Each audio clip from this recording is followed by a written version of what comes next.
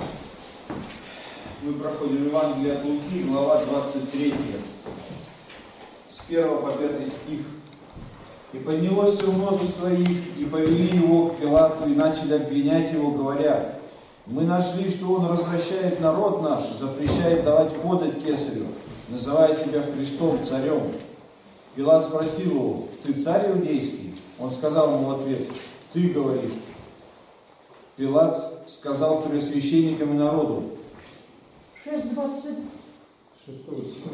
6.27, 1.5 на том занятии уже у меня все записано.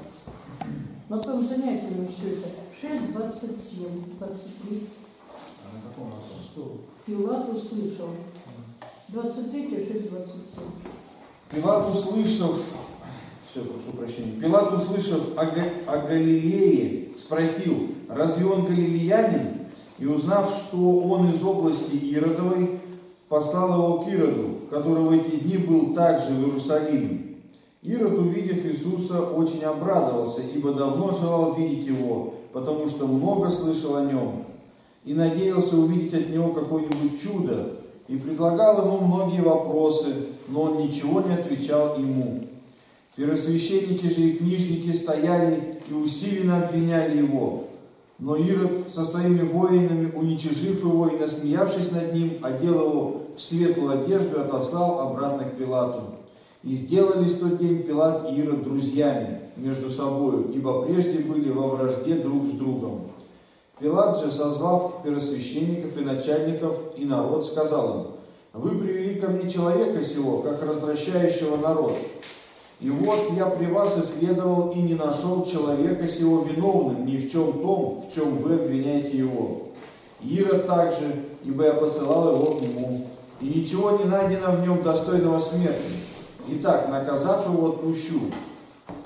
А ему и нужно было для праздника отпустить им одного узника. Но весь народ стал кричать «Смерть ему!» «А отпусти нам Вараву!» Варава был посажен в темницу за произведенное в городе возмущение и убийство. Пилат снова возвысил голос, желая отпустить Иисуса, но они кричали «Распни, распни его!» Он в третий раз сказал им «Какое же зло сделал он!» Я ничего достойного смерти не нашел в нем. Итак, наказав его, отпущу. Но они продолжали с великим криком требовать, чтобы он был распят. И превозмог крик их и первосвященников. И Пилат решил быть по прошению их. И отпустил им посаженного за возмущение убийства в темницу, которого они просили, а Иисуса предал в их волю. И когда повели его, то, захватив некоего Симона, кириньянина, шедшего с поля, возложили на него крест, чтобы нес за Иисусом. И шло за ним великое множество народа и женщин, которые плакали и рыдали о нем. Значит, это с 6 по 27 стихи. Толкование. Пилат посылает Господа к Ироду во исполнение римского закона, повелевающего, чтобы каждый судим был начальником его области. Поэтому Иисуса, как галилеянина, он посылает правителю Галилеи. Ирод обрадовался этому не потому, что, впрочем, будто бы имел приобрести какую-нибудь пользу для души, увидев Иисуса, но поскольку слышал о нем, что он мудрец и чудотворец, то имел неразумное желание, страдая и сам любовью к новостям, увидеть всего странного человека и послушать, что он говорит. Не страждут ли и ныне многие из нас этой болезни? Он сам желал увидеть какое-нибудь чудо от Иисуса не с тем, впрочем, чтобы уверовать, но чтобы насытить зрение, подобно как мы на зрелищах смотрим.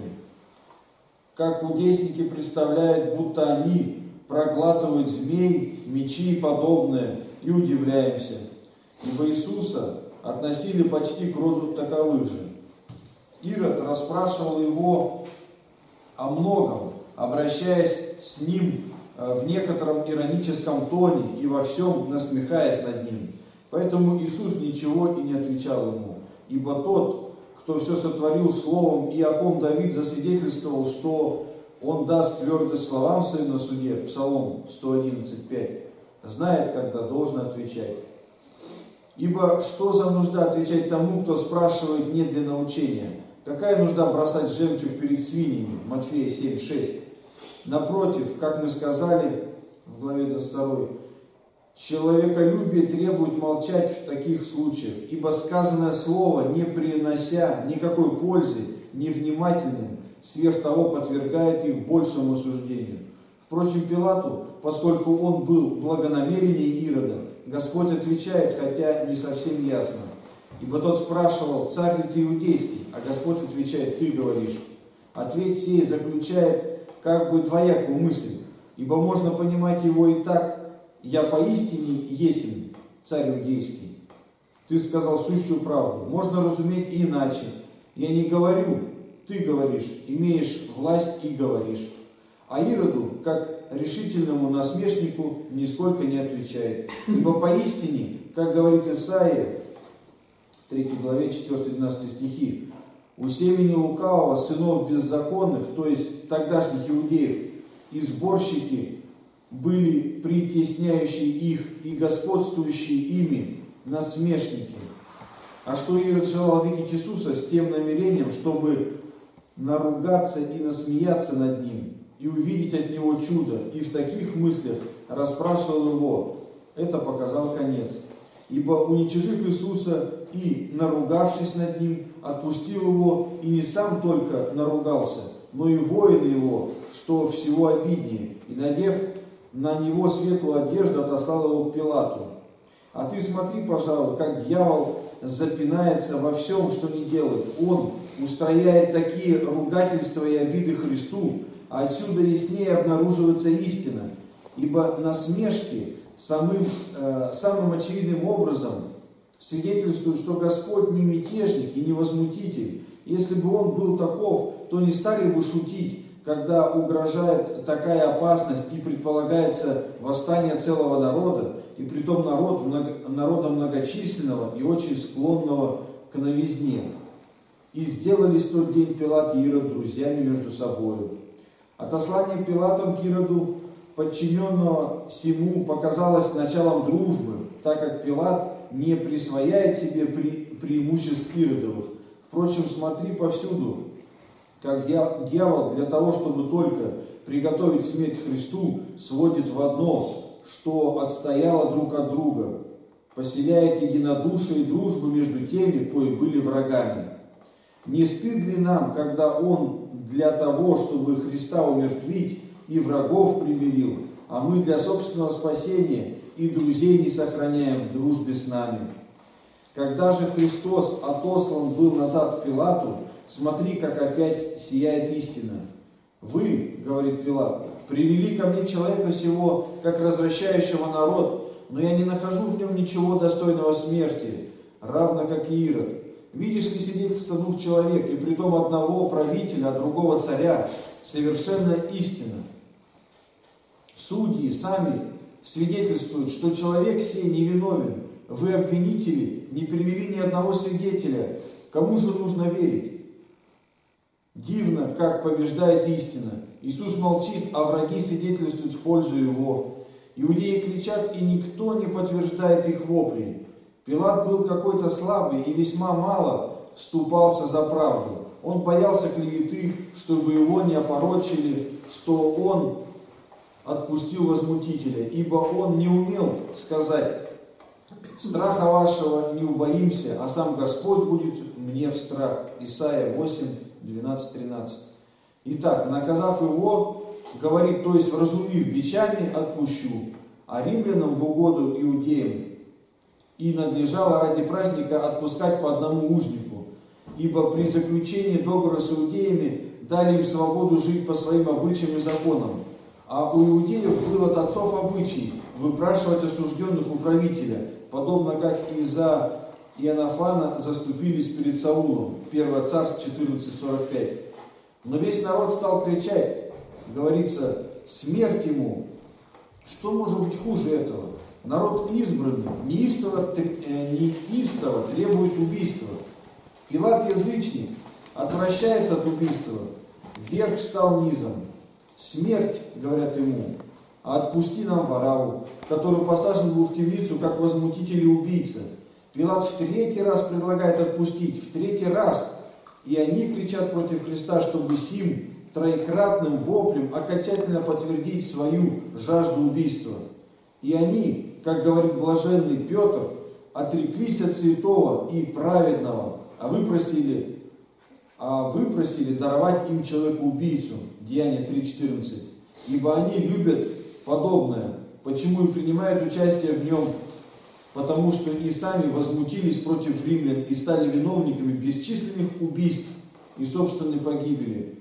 Господь предсказывает о сем через Иеремию. «Я оставил дом мой, покинул удел мой, самое любезное для души моей отдал в руки врагов его. Удел мой сделался для меня, как лев в лесу. Возвысил на меня голос свой, зато я возненавидел его. Иеремия 12, 7, 8. Горе им, что они удалились от меня, гибель им, что они отпали от меня. Я спасал их, а они ложь говорили на меня. Падут от меча князья их за дерзость языка своего. Осия 7, 13, 16. Ибо крест есть начальство Господа и царства. Павел говорит, смирил себя, быв послушным даже до смерти и смерти крестной, поэтому и Бог превознес его и прочее. Филиппийцам 2 глава 8-9 стих. Как сенаторы имеют знаки своих достоинств, иные пояса, другие мантии, так и Господь устанавливает крест знамением своего царствия. И смотревшись, ты найдешь, что Иисус царствует в нас не иначе, как через злострадание, что живущие в ней суть враги креста, и тот может сделаться покорным Христу и взять крест его. Кто упражняется в добродетели, кто идет с поля, то есть оставляет настоящее поле, мир сей и дела в нем, и стремится в Иерусалим Вышний, свободный. Галатам 4.26. Вот такое толкование.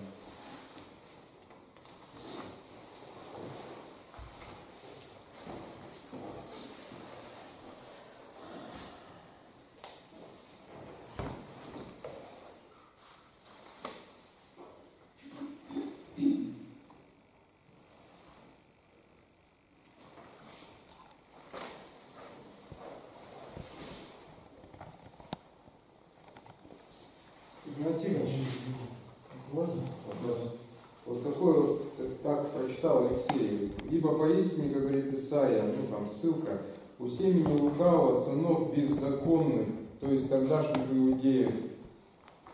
Э, это вот эти слова семени лукавого, сыны беззаконные, это граничит прям с, таким жестким проклятием.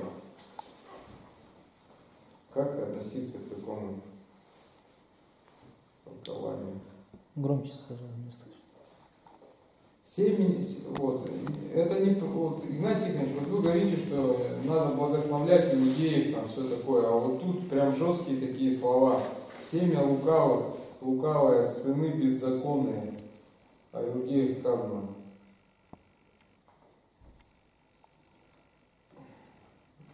Понятно вопрос, нет? А вы мысленно представьте, идет судилище сейчас. Тут находятся люди, кричат на Христа. И нам дается шанс выполнить роль, которая была у Пилата, но только не таким быть малодушным. Вот отсюда начинайте сейчас этот процесс. Что мы скажем? Пилат ведь думал не только перед народом здесь, что восстание будет, его сметут, но и перед кесарем. У него с двух сторон припекало. А так он сразу освобождался. Я хотел освободить, сам народ просил, его кровь на нас взяли. И вот отсюда начали рассуждать. Слова Пилата я могу заменить. Это я сейчас на его месте. Что бы я сказал? И картина сразу прояснится. Когда мы представляем, там, вот мы сейчас закончим, как только час пройдет, и отдельной темой. Я подготовил отдельную тему, и мы дальше продолжим. Тоже суд, и тоже над человеком, нашим современником. Сейчас там гудит все патриархии в этом, на сегодняшний день. Я этого человека летом ожидал, но у него вот это, видимо, ситуация это не позволила приехать с делегацией сюда. Очень известный батюшка, его сейчас заедают там. Я сейчас, вот как пойти сюда, я не досмотрел ролик до конца, он говорит.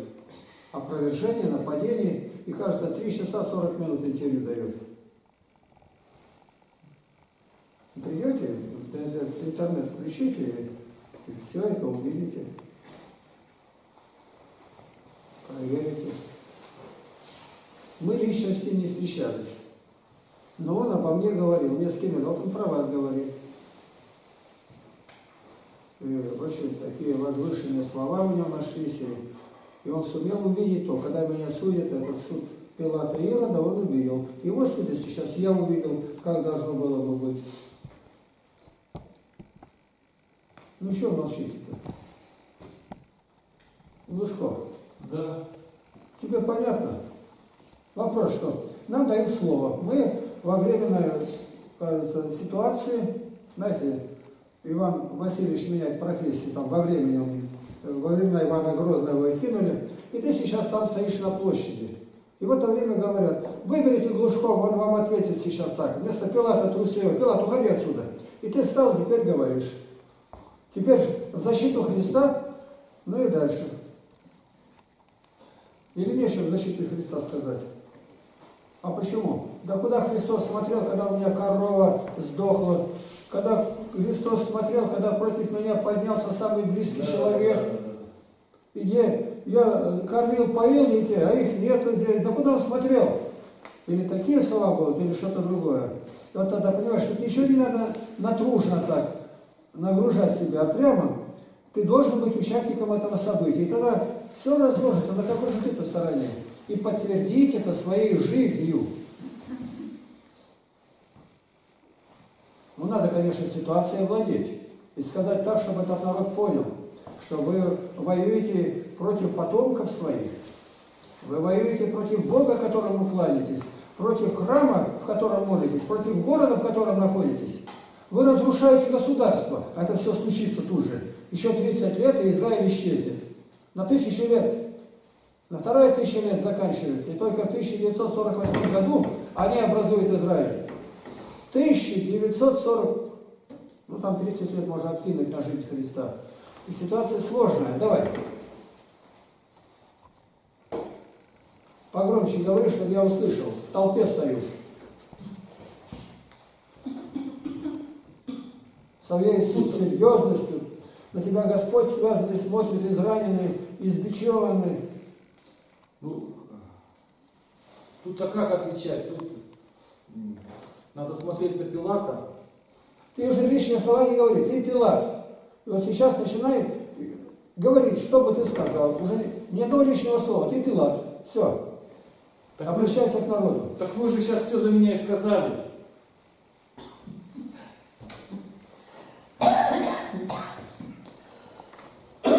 Ты помнишь, как мы я назначил тему, говорю, в следующий раз у нас тема будет такая, заголовок, почему я такой вредный? А этот вышел, вышел, говорит, а как я про вас узнаю? Я говорю, так что про меня знать? Ты про себя скажи, почему ты такой вредный? Ну, только к себе. А я себе расскажу, почему я такой вредный. Она про себя расскажет. И мы увидим тогда, где нам подправиться-то. чтобы не вредными быть перед Богом-то. Это нам не запрещается так рассуждать.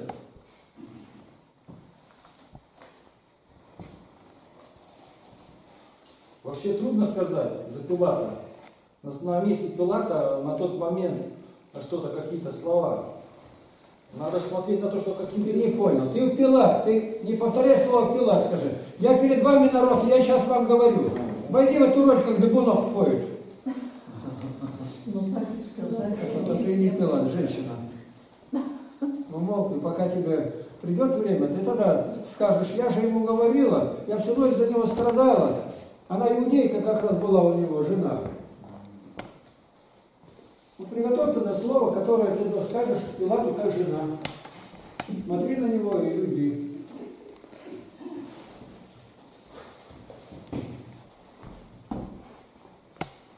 Пилату это было тяжелее, чем нам сейчас. Я так думаю, потому что э, он же был как народ, он далеко от народа, не уходил по духовному состоянию.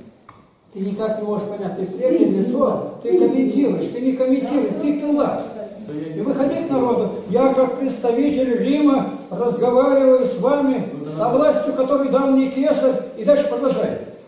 Так говорить уже сегодняшними мозгами или... Во-во-во-во. Если Всего- говорить всего- сегодняшними, то все, Тут всё вы, народ, что вы делаете? Вы знаете, что через несколько лет за то, что вы сейчас делаете, Бог развеет всю вашу страну, вы богоизбранный народ. Зачем вы проклинаете детей своих тем, что вы взяли кровь на себя? Вы знаете, что вас ждет? Там миллионы потом будут вас сжигать в печах во всяких. Миллион сто тысяч только в Иерусалиме погибнет. Там почти вся страна собралась. Когда говорим про Ленинград, там тысяч, миллион семьсот тысяч, что это понятно.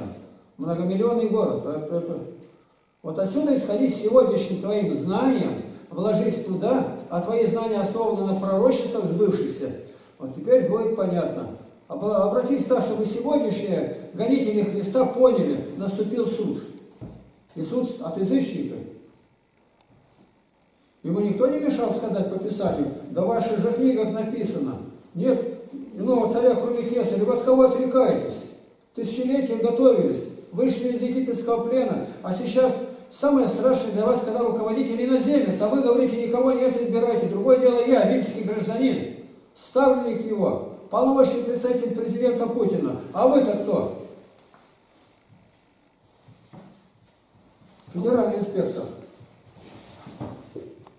Когда картина раскроется, ты с, любовью взглянешь на то, что дал нам Бог знать. А Ты будешь- в то время имел такие мысли? Пророки говорят, как в сегодняшнем дне, для них не существует времени. Мы говорим Иоанн Кронштадтский, но затоптали более главного, чем Иоанн Григорий Ефимович Распутин. Это единственный около царя, который не выходил, с ним рядом был.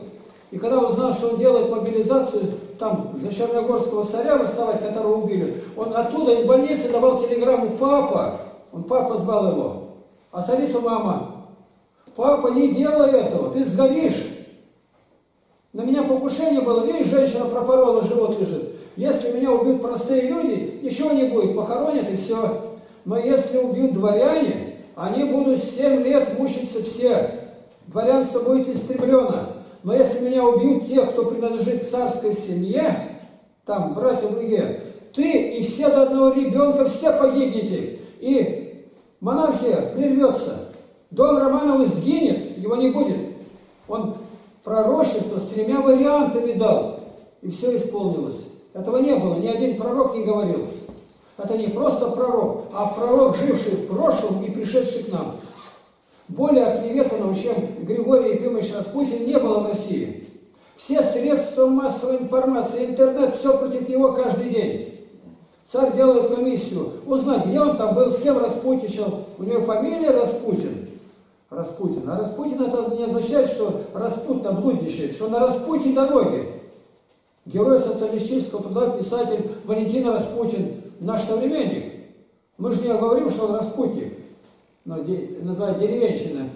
Деревенщики, они деревню сохранить. Как бы не он, Байкала уже не было бы. Такие мощные предприятия строить начали рядом. Ну, бумажный комбинат, он же миллионы гонит литров туда. И он отстоял это, поднял все на ноги. Значит, слово Распутин, он попросил Николаю II, папа, мне фамилию бы заменить надо. Он говорит, я не могу. Ну ты же император, я не могу. Ну как? Ну давай, говорит, царь, говорит, подставим рядом Григорий Распутин новый. Он говорит, давай. И уже Григория Распутина нет, а Григорий Распутин новый был убитый. Из Англии прислали специально шпиона, который руководил доме Распутина, как они стреляли его. Специально врач приготовил пирожки, которые он любит. Его знал, раз, этот, дом Юсуповых. С ядом, смертельный яд. Он говорит, ест отравленное вино, пьет, и на него ничего не действует. И когда он подошел молиться, в это время он сзади начинает его расстреливать. Он встает, поворачивается, выбегает. Ну а дальше просто надо вам посмотреть, что это. Показывает медведь, а вокруг свора собак, когда на охоте есть, это он. Что с ним делали? Царь проверяет. Распутин был там-то, женщины там. Ну, комиссию. Там КГБ работает, все приходят, говорят, царь такого даже в городе не было. То есть фальш. На масонском съезде в Базеле, кажется, было принято решение свергнуть царя. Ну как, начать Григория Распутина, сказать, что мать, царица живет с ним. Война началась какая? У царицы вторая карта, на которой, по которой она и э, немцам давала возможность побеждать русских. Все обман. И церковь ничего не могла сделать. Царь отрещется только, все церковники поздравительные в эту же ночь начнут слать временному правительству. И вот зарубежная церковь э, Антония Храповицкого, и он прислал. Мы поняли теперь, мы свободны, теперь церковь развернет свою деятельность. Они понимали, развернуть деятельность в ГУЛАГе. Удобрять землю будет. Павел Паренский, все туда пойдут. Историю нужно знать. Так, продолжайте. Вот он сейчас говорит слово, и оно может быть подействовать на еврейский сегодняшний народ, потому что это слово может достичь. Вы не забывайте, по территории, на каждого еврея 500 человек сегодня злится. В 500 раз больше та территория, которая враждебна. Иран, Ирак, там Ливия, Сирия, где есть. И все против Израиля. Там маленькая полоска его. И ничего не могут сделать. Его спихнуть в море, это щелчок один бы. Не тут-то было. Почему? До самого конца мира он должен стоять. Он должен воцарить всемирного владыку над нами, над всеми. Но территориально, не духовно. Духовно ничего не сделает, если ты будешь стоять. Всемирный царь еще никогда на земле не был, не было. Есть религия, христианство, мусульманство, буддизм, даоцизм, язычество, все под одного. Все единое будет, единая церковь. К этому все идет. И он зашифрован 666. Кто он такой будет? Еврей, притом еврейское колено разбивается на 12 колен. По карте можно смотреть. Ну, допустим, Алтайский край, это 48 районов. Так указан район. Указан дом, в котором он родится. А его еще нету. Это Иоанн писал на острове Патмос. И он видел его называет зверем. И при том, как видят, вот Даниил стоит, ну а что дальше будет? И вдруг море бушует, и оттуда выходит баран, овен, и бодает на север, на юг, все падают перед ним, и никто не может устоять. И вдруг море колышется, оттуда выходит еще козел. Сегодня мужчину назовут, ну ты козел, замолчи, это знаешь, как обидно. Это оскорбление, ты можешь поплатиться жизнью, козел. А это предсказание о том, что Александр Македонский придет и персидского этого барана разрубит. Это все придет. И когда он пришел в Иерусалим, Александр Македонский, с первосвященники вышли и говорят, а у нас пророчество о тебе написано, ты козлом назван. И он не обиделся на это. Ну, у него все-то там, армия была, сейчас не знаю, 30 или 70 тысяч где-то. А против него-то полумиллионная армия, он все разбивал. Дошел до Индии и там умер. 30 лет завоевал тогдашний мир, лег перед ним. Но это только до Индии дошел, а дальше-то, сегодня мы знаем еще континенты Северная и Южная Америка, это все надо подобрать, он все подобрал уже. Вы что, не знаете, у кого деньги? Где деньги, там и власть. Любой закон проводит. Почему? Во главе стоят сегодня везде евреи. И вот мне говорят, а вы говорите, евреев надо благословлять. Говорила, буду говорить, так написано. Благословляющий вас, благословлен будет. Проклинающий проклят будет. От меня это не зависит, это сказано. Почему этот народ дал нам Христа по плоти? Богородица Пресна Дева Мария, а она еврейка. Все, ну кроме Луки, который пишет Новый Завет, евреи. Ветхий Завет весь написан евреями. И им Бог открывается. Божий план такой был, и он выполнен. Бог назначил.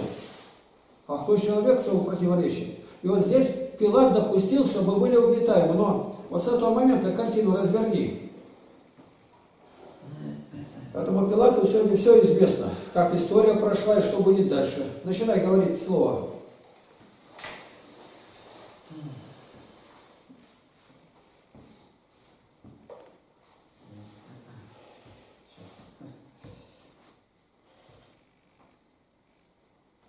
Ну, уже сказал, что вы потерпите все беды и горести за то, что э, значит, распнете, что это ваш Спаситель, который э, пророки, которого предсказывали, что он придет, вы не узнали его по вашей злобе. Вот, по сути, если Пилат, то я-то вообще язычник. Вы же верующие, верующие набожные такие, почему вы его не, не узнали?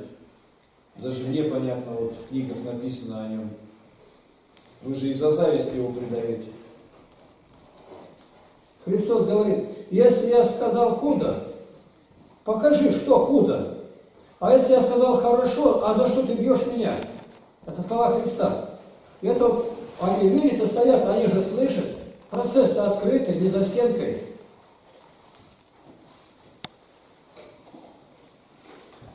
Ну, если знать, если уже этими мозгами, то если Бог так э, все устроил, то значит все равно будет тому, что он должен пострадать. Вот, поэтому что мог Пилат сказать, что Дальше мы Я- не знаем. Может быть, они выкрали его, может быть, Да, убили, что-то бы закрылись, сделали. не пить, не есть, пока не зарежут. если, если даже я что-то не сделал, но Бог уже так устроил, что вы его все равно убьете, и в этом будет именно промысел Божий для спасения всего человечества. Мы картину рассматриваем, это Пилат у нас сегодня. Идет судилище, 23 глава Евангелия от Луки. Как бы я сказал к народу это слово? Пилат смолодушничал. Я исследовал, смотрел, следователи мои рассмотрели, я ничего худого в нем не нашел. Ну дальше-то ничего худого не нашел. Освободить в зале суда. В зале суда. Они сидели под арестом, и вдруг освобождаются все. Вот показывает восхождение дьявола. Суд над Гитлером был, когда он путь поднял первый. Думал военным путем прийти. Ну и генералу спрашивает Верховный суд, вы как, признаете себя виновным? Он сказал, не виновен. Это из зала суда пойдут. Гитлера спрашивают, Адольф Гитлер, отвечайте. Он стоял, всех осмотрел, все соратники его, все отвернулись от него. Он опустил голову. Виновен, как все возликовали, виновен. Пять лет. Пять лет ему назначили Гитлеру сидеть. И судья сразу сказал, за вас есть кто заступится там, то другое. Девять месяцев. Там он напишет Майнкамп, как называют Библия Гитлера. Вот как было. Надо вперед смотреть. И которые были против, они пойдут в ГУЛАГ, тамошние в лагеря и под нож. А судья станет потом главным, он же его и Понимаете? Из всего надо из, из ничтожного извлечешь полезное. Такое маленькое какое. Господь посылает, посмотрите у язычников, было ли такое, что своему божеству изменили? Назовите. Нет. А народ мой, которому я, Бог, говорит, благодетельствовал, подкладывал лучшую пищу, все, и они восстали на меня, как враги. По- посчитал. Что я вам еще могу сделать, Господь говорит? Что вы хотели? Быть самостоятельным, я дал самостоятельность. Израиль воюет, перед ним падает в один 23 тысячи, а у них даже раненого ни одного нету. Так не бывает. А Бог сделал так. Как только согрешили, сразу же 32 человека были убиты. Война остановилась. У нас 32. Так вы за... А вы языческое 32 тысячи? Меня это не касается, меня касается свое. Обещание Бог нарушил, а нарушил почему? Кто-то сделал грех. С грешником Бог дела не имеет. Может день и ночь молиться о каписте телеть. Грешник Бог не слышит грешника. Вот в этом вся суть. У Пилата молитвы не было. Главное, он был безоружен и слаб. А которые молились, Симон Кирияне, другие, никто не отрекся. Мы должны очень серьезно посмотреть, потому что обстановка подсказывает где-то рядом. Совсем рядом это площадь Майдан. Майдан это площадь. Ну, я, я сказал, сейчас закончится сейчас занятие. У меня другая тема. Просто отдельно начнем говорить о сегодняшнем дне, об одном человеке. Ну, я напишу ему сегодня, может быть, пошлю ему приветствие. Одно время он ну, очень хорошо сказал мой адрес. Я не забуду этого, когда гнали. Ну, еще нет больше, все. Надо было обратиться, народ понимает прошлое. Особо. В будущем человек, говорит, да мало ли что сказал, язык без костей. Будет или не будет, но прошедшее вы не можете отрицать. Вы уже знаете, это было, было, это пророки предсказали. А это господин пророком пришел. Я и отец одно. Отец открывал. Это, это мои слова. Мои, то есть я и отец одно. Вот когда в эту обстановку ты войдешь, воображение, первое качество лидера, ты будешь чувствовать запах крови тогдашней, как Виктор Гюго. Он писал Ватерлова сражение, у него в комнате один, он запах пороха, ржания коней слышал. И так написать никто не сможет больше. Я вот «Жития святых» насчитывал, когда на пленку, тогда, в 78 79 годах, когда насчитывал. Я вместе с ними умирал. Я горел так же. И где они плакали, я рыдал. И поэтому люди слушают, и по сегодняшний день, пока никто так не насчитал. Он артист, у него не получится. А это вера. Вот я был в Латвии, сейчас ездили. Я на то место пришел, где обратился, я говорил и не мог говорить. Я опять склонюсь головой вниз, стою и начну только говорить. И спазмы не дают. Я опять упаду, опять молюсь. И все мне пишут, кто бы ни смотрел, все плачут. Почему они настолько накаленная обстановка. Я приехал на то место, готовился, где не был 50 лет, где обратился, началась новая жизнь. Меня бы живых не было, и вдруг того дома даже нету.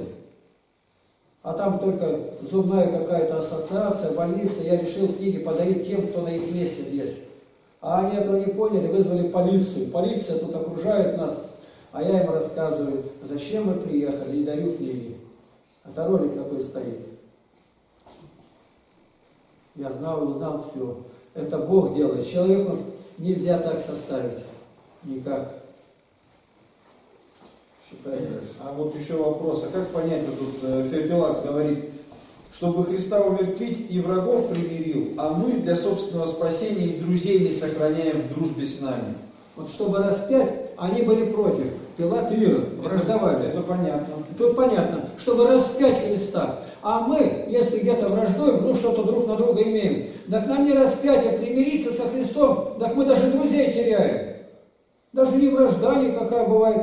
И, да мы же в небо идем вместе-то. Ну что же не уступить-то, не попятиться где-то? Ну, ну виноват, не так сказал. Или, это сцепился мертвой хваткой. Я не хожу в храм, потому что там Игнатий стоит. Ну вы же знаете это официально, объявлено. На занятия не хожу, а потому что Игнатий тут. Он не ходит. Я приехал вот уже три месяца, и завтра будет ровно три месяца. И ни разу человек этот не был в храме. Что еще доказывать-то? А на занятия еще не идешь. Я виноват. Я уехал, Виктор Николаевич ведет занятия, он ходит человек этот? Не ходит. Есть еще, Виктор Николаевич моего сына оскорбил, поэтому я пришел. Теперь батюшка стал вести занятия. Я батюшка, он ходит? Нет, ноги не положил. А почему? А батюшка не такой. Да если ты верующий, тебе разницы нет, кто говорит. Может быть, с воздуха слышится голос Божий и говорит, тебе зачем это? И когда шел, Павел говорит, услышал голос говорящего, а кто? Я никого не видел, поэтому не буду слушать. Он же не стал так рассуждать. А что повелишь делать? Иди, тебе будет сказано, трудно против рожна идти. Ты уперся уже рогом в грудь, куда давишь-то, дальше-то? Трудно идти, поверни назад. Слепой никого не видит. А люди, говорит, слышали голос какой? Савла. А тот голос они не слышали. Я, говорит, видел свет, а никого не видел. Свет ослепил его. И три дня сидел и думал, думал, я распинал, гнал христиан, а вдруг это Христос. Что же я теперь, куда я теперь? Трудно идти. А кто ты, Господи? Я Иисус Назарянин, которого ты гонишь. Да я тебя не гнал, я вот этих вот же. Они шпаны, бомжи, живут так как, бедные, грязные. Каждый ответит за себя.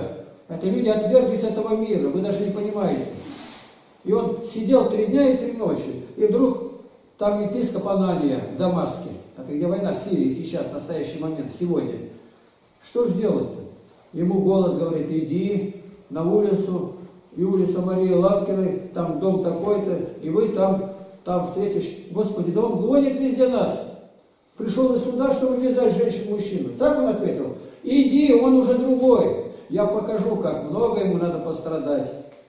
И он пришел и говорит, 22.16, Деяния апостолов, что ты медлишь, брат Саул, брат Саул. Я когда говорю это сектантам, они не могут перешагнуть. Я говорю, брат, брат.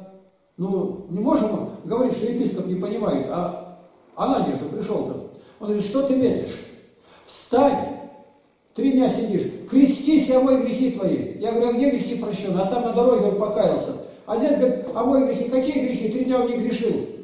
Омой грехи. Значит, крещение, прощение грехов. А у сектантов-то нет, обещанию Богу доброй совести. Из Петра вырвали. А дальше написано «спасает». Спасает. Слово «спасает» как крещение относится. И все.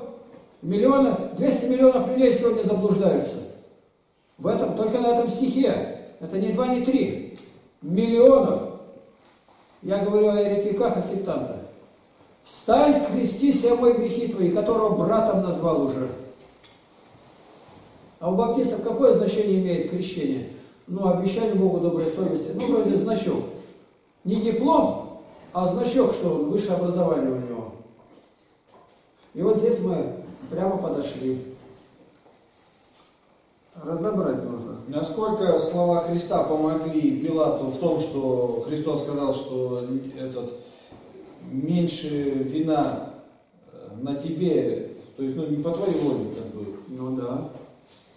Но Пилат пострадает за это. На него будет жалоба. Пилат, как в предании говорит, узнал, что был такой пророк, а ты его распял, его вызвали на отчет, и он был потом сослан, и будто бы его там и убили. Пилат лишился своей должности. Из-за нее он дрожал, не, не удержал. Но этого, в Писании этого нету. Это историческая дается справка, чем она подтверждается, я тоже не знаю. Просто считал. Я ссылаюсь не на Эрнеста, а на церковные ведомости, другие материалы. Так. 32-38 стихи. Вели с ним на смерти двух злодеев, и когда пришли на место, называемое Лобное, там распяли его и злодеев, одного по правую, а другого по левую сторону. Иисус же говорил, Отче, прости им, ибо не знают, что делают. Алексей, стих пропустил. 28, 31. 28-31. Благодарю. Иисус же, обратившись к ним, сказал, «Черь Иерусалимский, не плачьте обо мне, но плачьте о себе и о детях ваших, ибо приходят дни, в которые скажут, блаженны неплодные и утробы не родившие, и сосы не питавшие. Тогда начнут говорить горам, пойдите на нас, и холмам, покройте нас, ибо если зеленеющим деревом это делают, то сухим что будет? Толкование. Женщины эти, создания у, удобоподвижные на рыдание и плач. Плачут так, как бы Господа постигла какая напасть, и тем выражают свою сострадательность и сетование о человеческой неправде. А он не только этим недоволен, но даже возбраняет им, ибо он страдал добровольно, а страждущему добровольно, и притом за спасение всего рода человеческого, приличествуют не слезы, а одобрение и прославление. крестом, и смерть разрушена, и ад пленен. Слезы приносят утешение не тем, кои страждут добровольно, но тем, кои страждут невольно. Поэтому Он возбраняет им плакать о Нем, а убеждает их обратить внимание на будущее бедствие и плакать об этих бедствиях, когда женщины без жалости будут варить собственных детей, и чрево носившее, к сожалению, само опять в себя примет родившегося из него. Ибо если римляне так поступили со мной, древом влажным, плодоносным, вечно зеленеющим и вечно живущим силой божества и плодами учения своего всех питающих, то чего не причинят они вам, то есть народу, дереву сухому, лишенному всякой животворной праведности и не, при, и не приносящему никакого плода.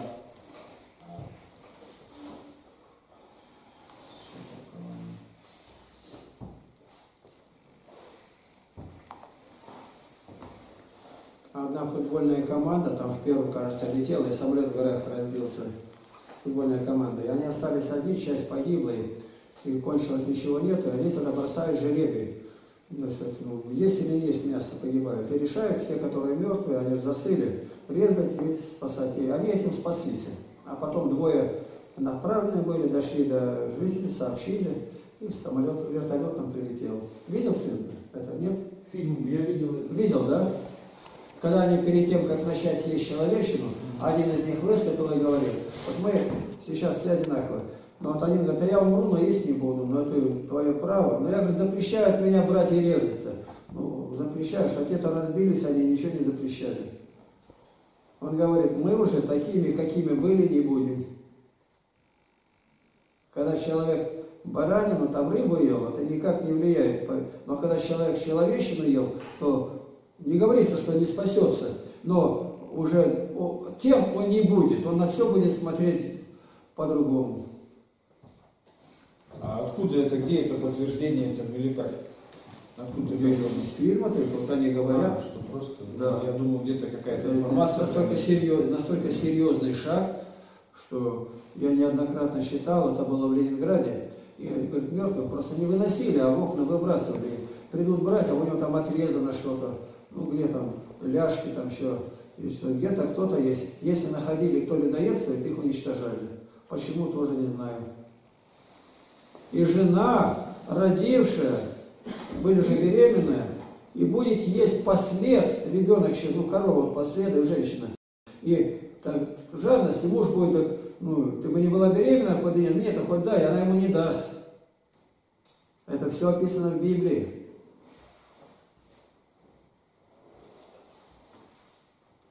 Сварили младенца, съели, а своего она спрятала, не дала. Пророку Елисею подошла женщина, жалуется. Он так ахнул. Царь-то. Она, она царю говорит, а порог стоит. Это голод, это ужасный голод. Ребенка, две женщины имеют одинаковых детей, говорят, давай моего сначала зарежем его, съедим, а потом того. А когда съели этого, то она его ночью своего спрятала и не дает. А та пришла жаловаться, как так? Обманула, мы съели, а ее нету.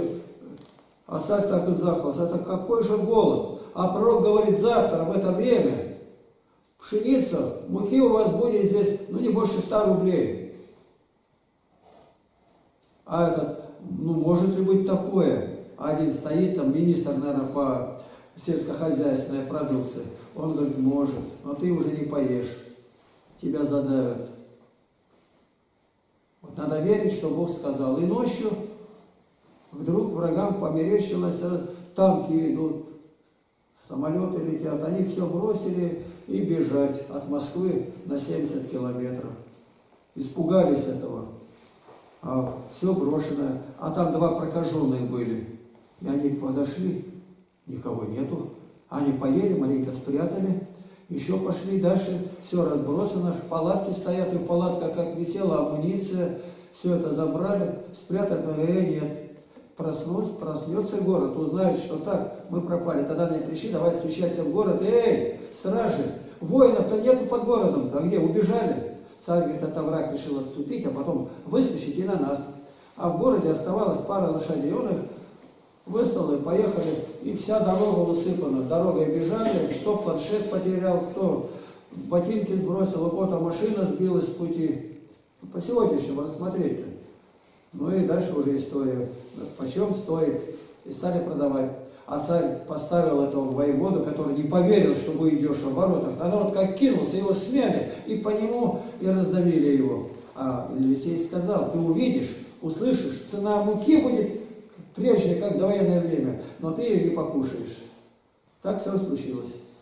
Это нам Бог говорит, это не еврейские басни, как сегодня там Константин про Пархоменко говорит, священник, конечно, это еврейские басни, священник, в церкви учит. То есть, а слуги Антихриста уже в церкви сидят. Что-то можно простить. Вот Алексей Первый был, патриарх Симанский. И он говорит, наш народ простой, ты знаешь, батюшка пьяный где-то, ну поднимут его, обтряхнут, и, и батюшка благослови, как вот Лескова написано. Народ многое простит, но если узнать, что ты в алтаре небрежно делаешь, совершаешь литургию, тебе никогда не простят. Вы поэтому думайте, это мы сейчас привыкли, белую войну поем. Это он ввел, патриарх Алексей Первый. Отче наш поет, это он ввел. И он сказал, чтобы искусственно бумажные цветы в церковь не заносили. Богу не надо мертвечину. Живой цветок. Это патриарх Алексей Первый. Это я читал его выступление. Есть с чем тоже. Давайте доброе от него возьмем. Да он там, там. Ну, он за себя ответит. Но это хорошее сделал дело, хорошее. Давайте этим его и помянем. Еще прочитаем, да, стих последний. 32-38. Вели с ним на смерти двух злодеев, и когда пришли на место, называемое Лобное, там распяли и вой злодеев, одного по правую, а другого по левую сторону. Иисус же говорил, «Отче, прости им, ибо не знают, что делают». И делили одежды его, бросая жребий, и стоял народ и смотрел. Насмехались же вместе с ним и начальники, говоря, «Других спасал, пусть спасет себя самого, если он Христос, избранный Божий». Также и воины ругались над ним, подходя и поднося ему уксус и говоря, «Если ты царь иудейский, спаси себя самого». И была над ним надпись, написанная словами греческими, римскими и еврейскими. «Сей есть царь иудейский». Толкование. Дьявол, желая составить и внушить дурное мнение о Господе, устрояет так, что с ним распинают двух, два разбойника.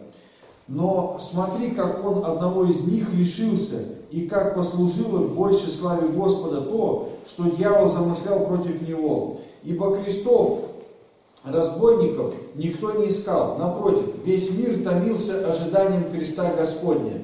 И отсюда очевидно оказывается, что Господь не беззаконник, как разбойники, но пути начальник всякой праведности. Ведут его на место лобное, где говорят, погребен был пратец, чтобы где совершилось падение через древо, там же совершилось и восстановление через древо. Иисус, являя чрезвычайную кротость, молится за них, говоря, «Отче, прости им, ибо не знают, что делают». И, конечно, грех сей простился бы им, если бы после всего они не остались в неверии. Для чего делят одежды его? Быть может, многие нуждались в них, а быть может, что и вероятнее, делали это по дерзости и с намерением надругаться, ибо на их взгляд, что было драгоценно во всех одеждах. Итак, они делили это в виде насмешки, Делали. э, делали это, делали это в виде насмешки и ругательства. Ибо что нужно заключать о простом народе, когда начальники его насмехались? Других спасал, пусть спасет себя самого, если он Христос, избранный Божий. Это дьявол говорит через них, как на кровле храма, Луки 4.9. Так и здесь он это говорит, завидуя спасению через крест и желая всеми возможными хитростями пресечь оное. Воины подносили уксус для питья, служа именно как царю. Вот и другая хитрость дьявола, обращающаяся на него самого. Именно он письменами трех языков объявляет о возмущении Иисусовом, чтобы всякому из проходящих было известно, что он повешен за то, что выдавал себя за царя. А избирательный на зло не понимал, а изобретательный на зло не понимал, что это было знаком того, что сильнейшие из народов, каковы римляне, и мудрейшие, каковы греки, и набожнейшие, каковы евреи, войдут в Царство Иисуса и будут проповедовать Его. Комментарий. Царствием Божьим называется пришествие Христа на землю, уверовавшие в Него и составляют Царствие Христово. Усыновленные чада Божии получают великую власть от имени Иисуса нести благую весть. Иоанна 1,12. А тем, которые приняли Его, верующим во имя Его, дал власть быть чадами Божьими. И самое главное право, которое стало и обязанностью верующих, нести слово благовестия в окрестные народы. Иоанн Златоуст непрерывно призывал к проповеди Евангелия, проповеди того, что его прихожане слышали в храме. Не, не слышали. Не, э, проповеди того, что его прихожане слышали в храме. Он говорил, что он один ничего не успеет, если слушатели будут безмолвствовать. Почему же русский народ к этому не был приучен сразу при князе Владимире? Почему пошли иным, не евангельским путем, в пустыне, леса, пещеры, о котором не сказано ни одного слова в Библии? Римлянам 10 глава 15 и 17 стихи. И как проповедовать, если не будут посланы?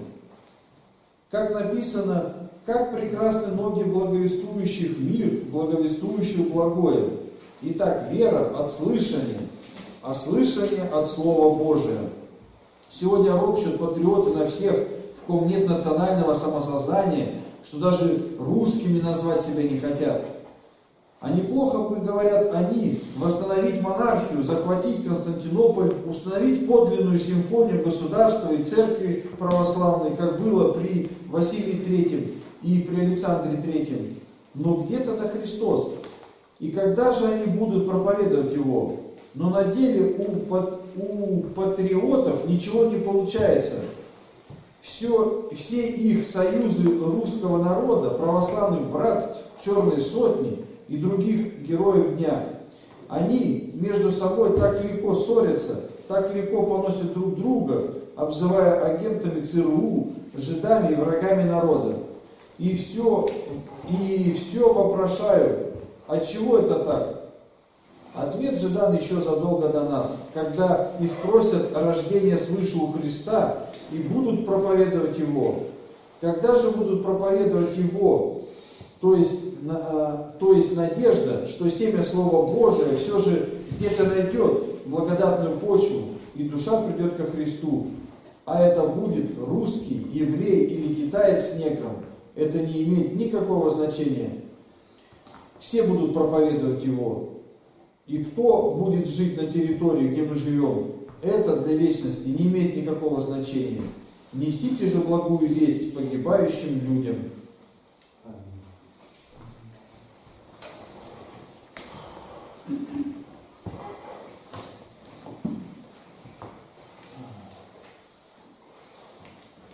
Мы вторгаемся в политическую сторону жизни. Упоминаю здесь, даю комментарии.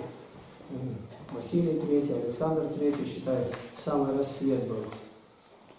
И к чему пришли. Вот если бы революция произошла, а было бы Киевское княжество, на этом все закончилось. А нахватали до самого Порт-Артура, пост по острову. И в раз это все хлынуло под ноги сатане. Это все добровольно было. Аляска даже в Америке, и та российская была, потом продали ее в 1861 кажется, году за бесценок. А сейчас поют, и Аляску вернем. Безумие. Дома поправиться не могут, а туда лезут. Нам говорят, дороги строите. Дороги государство строит. Оно помогает, а у нас ничего нет, не прошел бы. Не выехать тут нельзя было, а Калаигре не проехать, а сейчас там грязи нет никакой, все свободно. К слову сказать, на неделю мы подремонтировали, где продавили. Надеющийся на Бога посрамлен не будет. Все, да? Все? Все.